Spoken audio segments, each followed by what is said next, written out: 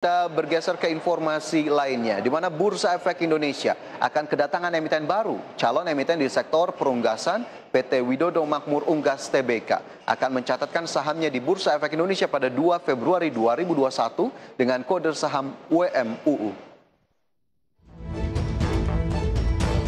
PT Widodo Makmur Unggas Tbk yang bergerak di sektor perunggasan menetapkan harga saham perdana melalui penawaran umum perdana atau initial public offering sebesar Rp180 per saham. Sebelumnya Widodo Makmur menawarkan harga IPO antara Rp142 sampai Rp200 per saham di pasar primer.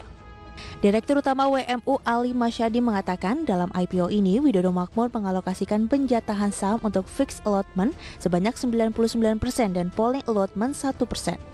Dalam gelaran IPO ini, proporsi investor yang menyerap yakni investor institusi 69,5 persen dan retail 30,5 persen. Seiring dengan market yang didominasi oleh pemain retail, saat ini diperlukan alokasi retail yang mencukupi dan juga untuk menjaga likuiditas di pasar sekunder. Selanjutnya penawaran umum dilakukan 25 hingga 27 Januari 2021. Untuk penjatahan saham pada 29 Januari 2021 dan distribusi saham 1 Februari 2021. Pencatatan perdana saham di Bursa Efek Indonesia rencananya pada 2 Februari 2021. Pada 2021, PT Widodo Makmur Unggas Tbk mengalokasikan dana sebesar 1,5 triliun rupiah dari sebelumnya 1,9 triliun rupiah.